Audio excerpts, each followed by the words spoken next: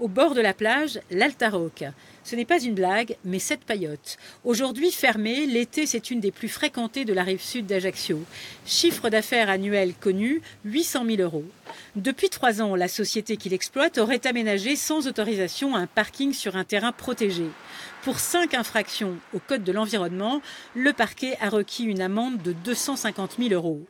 Pour les associations de défense de l'environnement, partie civile, c'est du jamais vu. Je pense que le parquet, euh, à la suite de l'État, prend conscience que les remblaiements en zone humide, ça présente de graves dangers pour, euh, pour la société en général, pour, euh, à cause des risques d'inondation que, que ça occasionne. Donc c'est normal qu'il y, ait eu ces réquisitions, mais qui sont des, des réquisitions remarquables.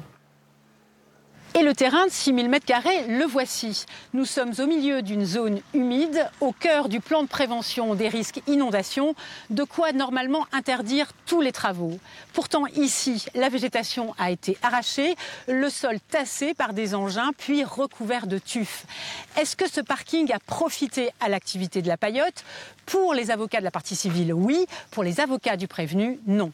Le parking n'aurait été fait que pour diminuer le stationnement sauvage sur les bas-côtés de la route. Non, je ne dis pas que le parking et la paillote n'ont aucun lien. Je dis tout simplement que la paillote n'a pas besoin de ce parking pour faire venir du monde. C'est un établissement qui a toujours été très fréquenté. C'est la partie civile et le parquet qui invoquent effectivement ce profit. C'est à eux de le rapporter et par, par moi de prouver le contraire, effectivement.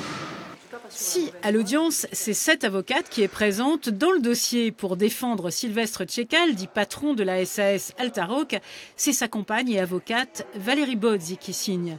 Elle est aussi la maire de la commune où ont été commises ces infractions. Le conflit d'intérêts n'a pas été soulevé par le tribunal. Valérie Bodzi est restée injoignable. Le délibéré a été fixé au 5 novembre.